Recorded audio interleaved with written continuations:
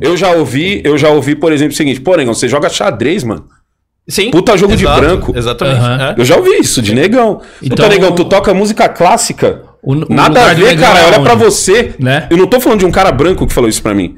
Falando de um negão que falou, caralho, negão, tu, tu toca música clássica, Mas nada tá, a ver. mas você tá ligado que lá na gringa, Tá cara- isso vem lá da gringa, eles têm muito esse negócio de white, white man things, tá Sim, ligado? sim. Coisa Uhum. jovem Sim. branco. Tá É. pegando isso no Brasil e ligado. eles tratam isso de forma pejorativa como se fosse uma diminuição de masculinidade. Exato. O white man can jump, no basquete os caras Uhum. zoam que o cara branco só consegue pular. Então eles usam isso pra diminuir o cara branco, na verdade, Exato. muitas vezes. É, você viu no, no próprio futebol americano que eu acompanho, o- um dos primeiros quarterbacks negros que teve foi o Michael Vick, né? Jogou, inclusive, o Philadelphia Eagles e tal. Um dos caras que apresentava no próprio Atlanta também. Um dos caras que rompeu isso, porque existia um, um estereótipo muito forte, um mindset de que o quarterback tinha que ser ser branco. shed. O- Não, o quarterback tinha que ser branco, o shed e tal, por quê? Porque o branco tem a linha do pensamento, o negro não consegue pensar. Então ficou muitos anos isso. Mas ao mesmo né? tempo, o, mas ao mesmo tempo, todo o corredor é negro. É, exato. O corredor é negro. Exato, porque O negro é, é muito mais rápido que o branco. Porque é explosão, é- explosão é, física. Essa É. parada do corredor E do também porque não precisa, americano e também porque não precisa Mas pensar. pra alguns esportes, para alguns esportes tem isso mesmo. É isso mesmo. Por exemplo, natação. Natação só tem Você não, vê, um- você não vê um negão nadando, mas não é porque é caro. Tem, tem esporte que é elitista. Aí eu, é Tênis, diferente. por exemplo. É, tênis, por exemplo, ele é elitista, tá ligado? Hoje nem tanto. Hoje, hoje tá fácil você encontrar clubes. é, é, é, como é que fala?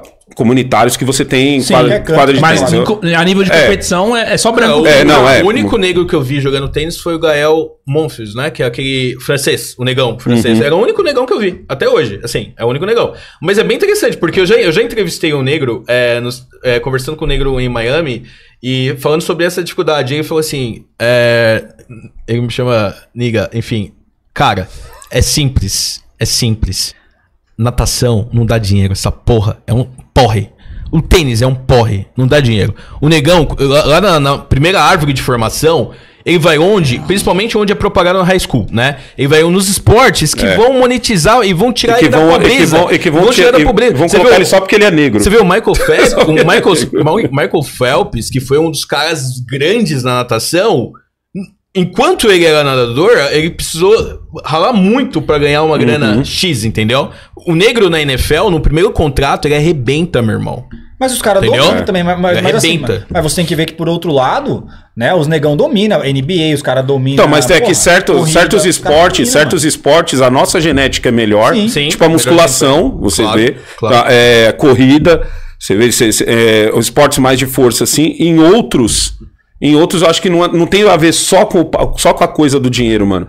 Eu acho que não tem a ver com a gente mesmo, mano. É, eu acho que. não não por é. o- o, o nosso físico, é isso que eu tô tentando dizer, Sim, tá ligado? sim, nosso O primeiro esportista bater um bilhão sozinho foi um negro, que foi o Tiger Woods. O Tiger Woods.